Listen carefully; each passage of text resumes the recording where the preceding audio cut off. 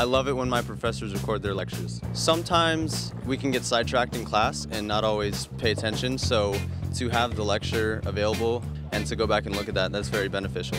It benefits me a little bit more because as a second English learner, I'm able to like go over the notes a little bit better and go slow and understand the material. I feel like it would be a helpful tool because if you miss class, you'd be able to understand what happened while you weren't there. If I'm sick, I could just stay home and re-watch the lecture.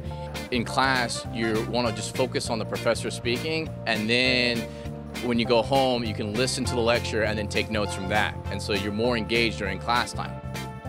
It's just much easier even to go back and review certain parts of the lecture, even if I was in uh, class during that day. But overall, it just helps me study and be a better student. Bye.